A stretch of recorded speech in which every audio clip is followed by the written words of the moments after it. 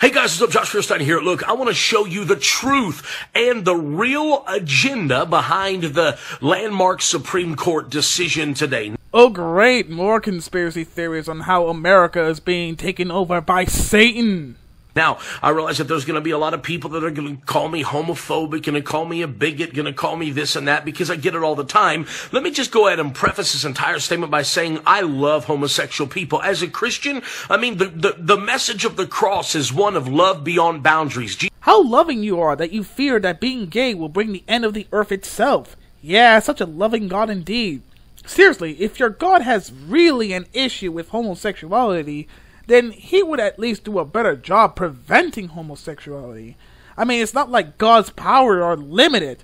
Seriously, if a God exists, then why would this God have an issue over something that is part of nature? Jesus didn't just love the people that, that mourned for him or, or the people that buried him or the people that prayed for, no, no, no. Jesus didn't just love the guy that carried his cross. He loved the guy that crucified him and beat him and whipped him and killed him.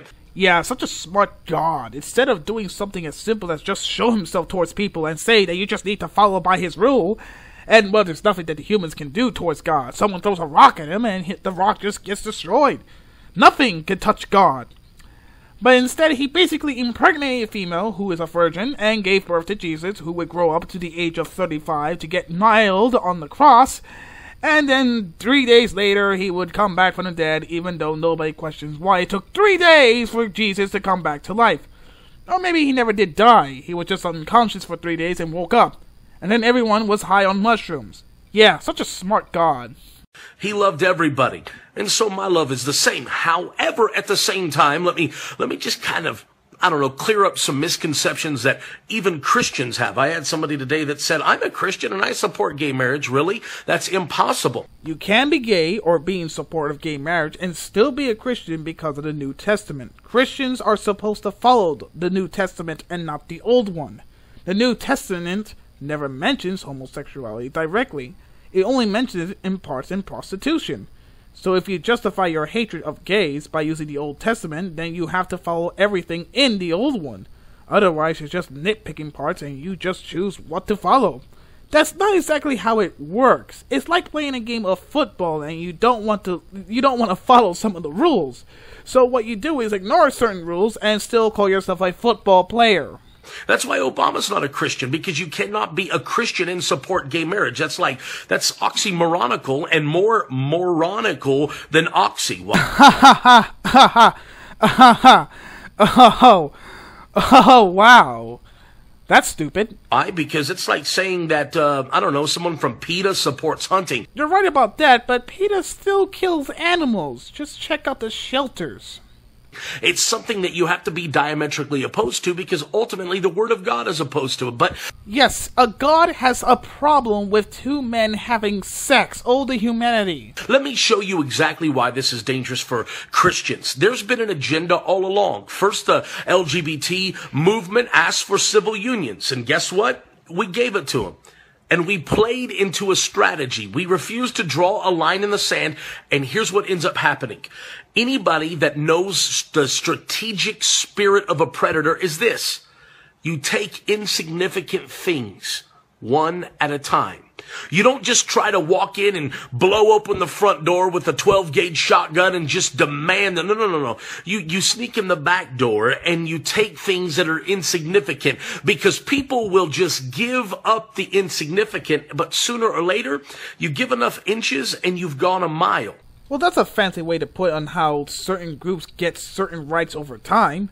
The same can be said about blacks in America where they were oppressed, and it took over a hundred years for them to get equality. I may not be able to live long enough to see gays in India to get the same treatment as, well, everybody else, but progress is in, in fact slow because of bigots like yourself. If it was that simple, then slavery and racism would have ended years ago. Think about this, because here's what's going to happen next.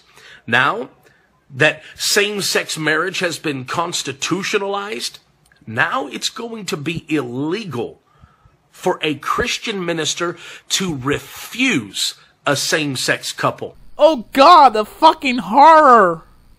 They've already tested it with the Indiana bakeries. Now what's next? They're coming for the churches. That's been the plan all along because now the Bible's going to be hate speech.